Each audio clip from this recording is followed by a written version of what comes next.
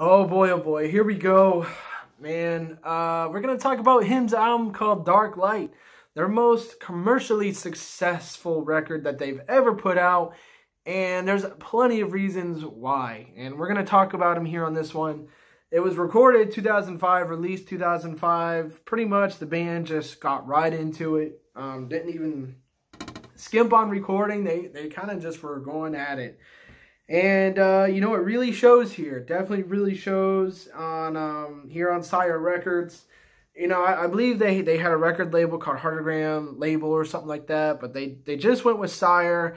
Uh, Tim Palmer released it. Tim Palmer's just, uh, he's a really good producer. And um, they recorded it in, in L.A., and boy, oh boy, do we have a lot of good ones here. So a lot of people say that, you know, this is kind of like a mix between, you know, I don't know, kind of like Razor Blade and Deep Shadows. Me, you know, I, I, I don't know. I don't know about, about that one. Or, you know, uh, Love Metal and, and Deep Shadow. A lot of people say, you know, it's kind of two albums mixed together. I don't think so. I, I think this one is kind of like Love Metal, just a little bit beefed up. Um, it's very keyboard heavy. Uh, keyboards really take over. But there, there's some guitar moments like, um, you know, Wings of a Butterfly, definitely. Um, I don't know. I, I, like the distortion on Drunk on Shadows. Um, but gosh, really, even the cage is good too. Uh, it's kind of like a bonus song. I'm gonna kind of add it in here because the cage is really a, a, really good song just on its own. Um, Poison Heart's really good too if you haven't listened to that one. Overall, just great songs. Really, really, every song is good, even the bonus songs. Um, but yeah, uh, lineup changes there are none. We're still here with the same old people, and they are just killing it. But uh, this is where him kind of just gets huge. They they put out Wings of a Butterfly. They put out uh, Killing Loneliness as as singles, and boy, are those two videos awesome. I remember watching those as a kid on TRL, you know, on Headbangers Ball. these they were just really good, and every song on here is good. They're they're catchy. Vampire Heart, what a great opener, coming in a little less than five minutes. Wings of a Butterfly, just a great, great guitar heavy song. Under the Rose, just overall really good with keyboards. Killing Loneliness is just good uh, vocally, um, and just just great songwriting on this one. It, it's just really, really well handled. Uh, Dark Light's good. A lot of people say that the, the second half isn't as strong as the first half. I don't know about that. I, I think the whole album is good. There's not really a bad song on this album. There seriously isn't. Drunk on Shadows? Come on now. Come on.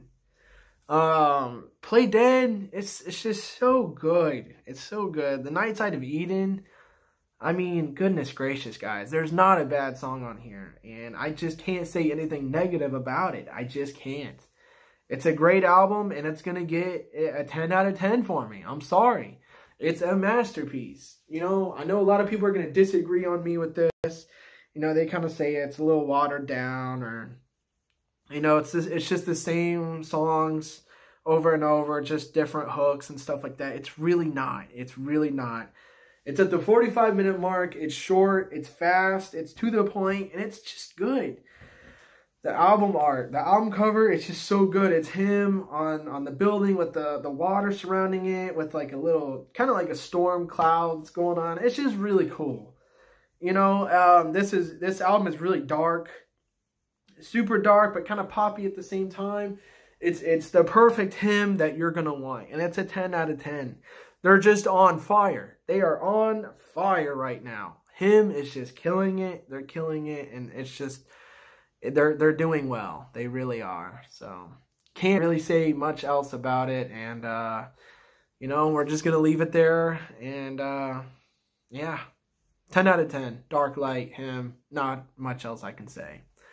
Thank you guys for watching. We're gonna move on. And uh, yeah, we got a lot going on. I'm not going to do the uneasy listening because it's not really like a, a studio record. It's kind of just the same songs, just kind of different um, like acoustic version or like remixes. So we're we're not really gonna go go to that. We're gonna go to Venus Doom. Venus Doom is uh, the next record we're gonna we're gonna go to here. So thank you guys for watching. I will see you guys on the next review. So peace out.